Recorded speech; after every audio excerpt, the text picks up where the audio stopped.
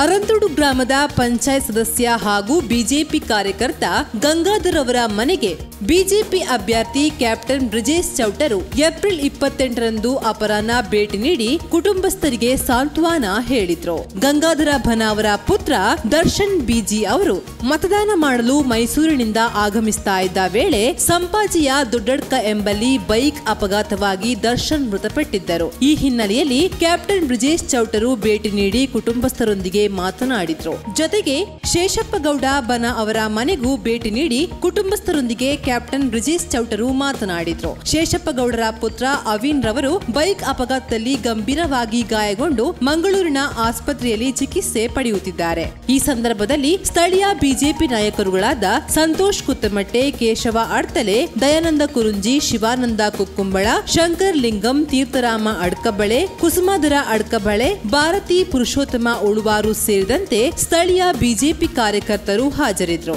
ಕೃಷ್ಣ ಬೆಟ್ಟ ಸುದ್ದಿ ನ್ಯೂಸ್ ಸುಳ್ಯ.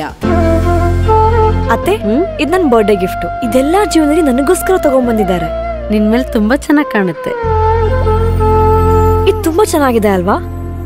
ತುಂಬಾ ಚೆನ್ನಾಗಿದೆ.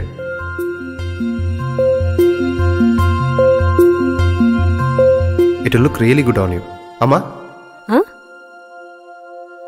Mother is always sons first love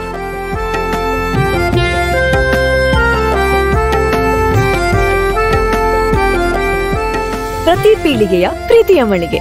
GL Acharya jewellers